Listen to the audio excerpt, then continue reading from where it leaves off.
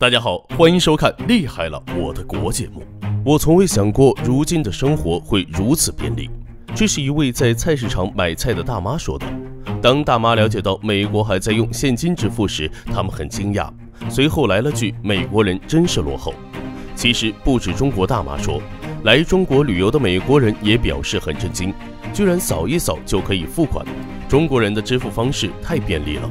一个发达国家的支付技术还不如发展中国家，这是来自美国人的评价。中国支付行业其实早就已经位列全球第一，以微信、支付宝为主的支付方式不仅火遍了中国，还将征服世界。据一六年数据统计，中国移动支付交易总额已经达到三十八万亿人民币，同比去年增长了三倍，可想而知，到一八年已经增长到多少。而美国的移动支付数据仅仅不到中国十分之一，而且二维码已经在二十六个国家遍地开花，其中支付宝支持十八种境外货币结算。而就在外国人羡慕中国二维码支付时，中国的又一项技术横空出世。今年八月十四日，武汉一家商品超市开启刷脸时代，当你买完东西，只需要站在收款机面前扫下脸就可以，全程不到十秒时间。目前已经有七十多家商品超市采用了该支付方式，全程自助收银，节省收银人员人力。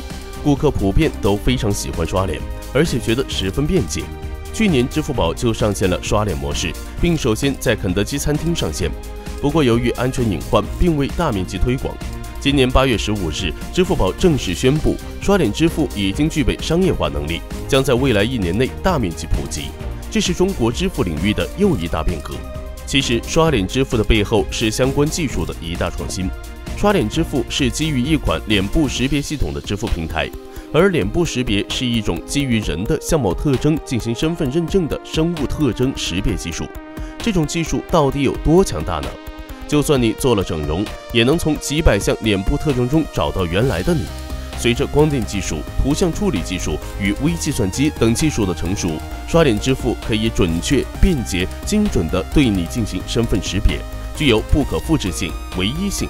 就好比这个世上只有一个独一无二的你。当你靠近收银台时，不仅会对你进行脸部识别，算法系统会自动分析你的生物遗传数据，在数据账户中找到你的账户。